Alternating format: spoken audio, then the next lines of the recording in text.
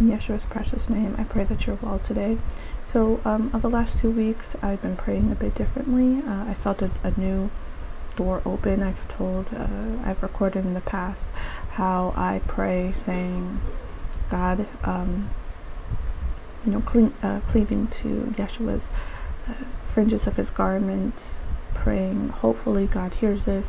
Uh, when you, when you catch, that's why I kept saying in the videos, when you touch the garment um, of the fringes of Yeshua, uh, you're reaching, expecting to receive, just like the lady who had an issue of, of blood. She reached out expecting to receive, you know, and um,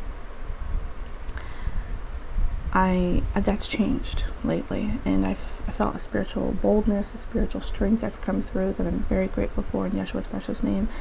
Um, I feel like you know I don't know if you've ever seen this. Uh, I felt it in the spirit before I ever saw this filter, but it was interesting because you this there's like this drawing filter that actually covers you up and you become kind of like a person inside of a shell of a drawing and you can kind of see the drawing more than you can see the person behind it and it's a very interesting filter i find it very cool but it, it reminded me of when i saw that um, what the spirit was pretty much saying that when when the father looks at you he sees jesus you know and I, I around this time felt this door open where i always felt like i have to you know grovel before Christ and say, Could you please tell the Father this? Could you please tell the Father that? Because I know He knows how to approach the Father. But um, I've felt recently um, a boldness where it's like, well, you should know how to approach the Father too, because you have the Holy Spirit. You're coming in Yeshua's precious name. You're, you know, doing the best you can, and He is an all-knowing God who understands your heart. So, um, if you're coming with good intentions, which of course, why would we go before the Father with anything else other than that. In Jesus' name, He will see Yeshua when you speak to him. So you're allowed into the throne room where his beautiful, you know, um, garment overflows the whole room. And the angels are saying, Holy, holy, holy, you are holy. In this place, you can um, kneel. I, I like to kneel. I'm, if you spiritually are told, maybe you're a man in Christ, you can stand before the Father. I, I like to spiritually kneel before the Father, uh, in, you know, in Yeshua's name, and I talk about how I know He's holy, how I know He's good. It helps me because I know He knows that, but it helps me to remember. Remember, you know, I think that's why when Jesus told us the Our Father, Our Father who art in heaven, hallowed be Thy name. You are our dad, our father, our spiritual father, our overarching cosmic father. You are holy. You are wonderful. You are perfect. You are glorious. You are honorable. You, you are the word. Uh, whatever honorable is in walking, talking, speaking, which is Jesus, that's who you are, you know. Um, so reminding ourselves of this, saying it out loud, this helps us, you know, because it's about us finding the boldness, the, the ability to come before the Father. And so um, then saying in Yeshua's precious name, I repent. So when you see me, when you see me, please see the one who sits at your right hand, and then just like the one who sits at your right hand, you speak. He speaks freely with you, um, and I'm trying to be as free as I can, and uh, from a position of not being a God, and you know, like He is God, and um, you know, I am asking the Holy Spirit to intercede in any place where I mess up and I, uh, unholiness comes or tries to break through. The Holy Spirit stops it in Yeshua's precious name. It's allowed me to have faith in in God being God, you know, the Holy Spirit being the Holy Spirit and doing what it's going to do, you know, and Yeshua being Yeshua. And, um, you know, knowing that, you know, this is God who created levity, who, not levity, but I mean humor. What I mean to say is humor. And he, um, he created, you know, you know, the ability to be funny and to laugh and the giggle of a baby and the laughter of a five-year-old and the jokes of a, a child, you know, and the, the things that we find that are pure funny. And so when we sit there, it's always serious, serious, serious.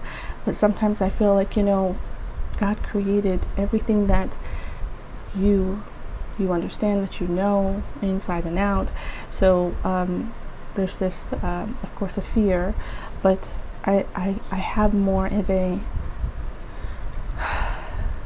I guess, I, yeah, I'm relieved. I'm relieved because I feel like now I can pray boldly and I can say in the spots where I don't know, like if I say, loosen the angels, bind these spirits here and there, I know that He knows what the spirits need to be bound, and He also knows the ones that are not allowed to be bound, because there are some things He allows to happen, and so that's really hard for us to say, God, bind this, bind this, bind this, and you, I know you're going to do it, God, but really He's a God who's like, and some of these things can't be because they're supposed to be free to roam around and be like a roaring lion seeking who it will devour, because some people they need to be devoured, and that that's tough like that's tough for me to understand. I don't i, I at one time was confronted and uh, i was deserving of devouring and i accept that. And in yeshua's precious name i was saved. That's what what makes jesus and his salvation so amazing.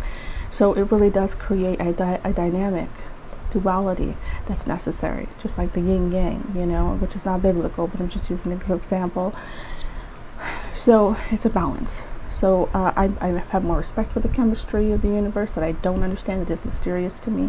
But I also know that I can say, because I'm a simpleton compared to God, I'm allowed to say, God, who is the Father who is in heaven, Yeshua sitting at your right hand of the Father, loosen here, uh, loosen wherever you wish. Um, bind wherever you know needs to be bound, and know that if you need me to intercede or to act on your behalf as the hands and feet of Yeshua, I will do so uh, make sure that I, I can see it, I can know, so then it's clear to me because I'm a, I'm a little thick-headed, um, which is a joke. Again, he made things funny, he made funny happen, so I, I think I can joke sometimes, if in pure ways. and um, I'm also finding where I can say, you know, in the places where things are bound, could I see it? And then I do see it, you know, and I've, I've made examples in the past of how God is moving and speaking and acting in real time where I'll be praying for something as I'm doing something else, and then it's re- something's revealed right in front of me. And sometimes it's not. It's not. Sometimes it takes a while. Sometimes it takes a few days. Sometimes it takes a year. But my eyes are, our ears are always open. I'm, I'm usually always in the same playing in the same spiritual pool anyway, you know. So, and it's to become cleaner. It's to become like more like God. It's to be evolving. It's to be a different Christian um, a year from now than I was last year and the year before.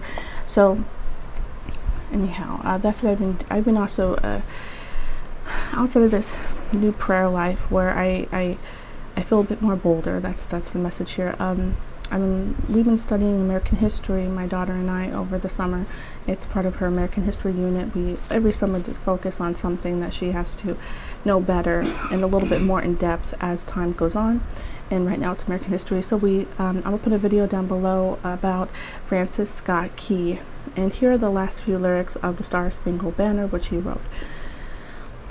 Praise the power that hath made and preserved us a nation. Then conquer we must, when our cause is just, and this be our motto, and God is our trust. And the Star Spangled Banner is triumphant and shall wave over the land of the free and the home of the brave. Are we still are we still free? Are we still brave? And is God still what we trust in? This is Linda of Christ is King forever. May God be with you.